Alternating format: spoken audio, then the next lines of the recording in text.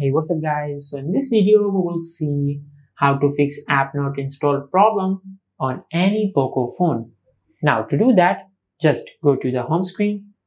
Now from here, just open the settings app. Now from here, just search install unknown apps. Now from here, tap on install unknown apps. Now from here, tap on install unknown apps. Now from here, scroll down and tap on Google Chrome. Now from here, just make sure you enable this feature. Now once you have done that, just go back. Now from here, scroll down and tap on Apps. Now from here, tap on Manage Apps. Now from here, just search Play. Now from here, tap on Google Play Services. Now from here, tap on Disable. Now from here, tap on Disable App.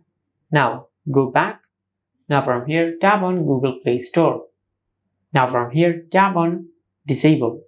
Now from here, just tap on Disable App. Now once you have done that, just open Google Chrome and install the app.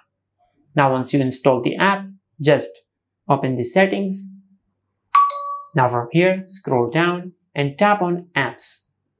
Now from here, tap on Manage Apps.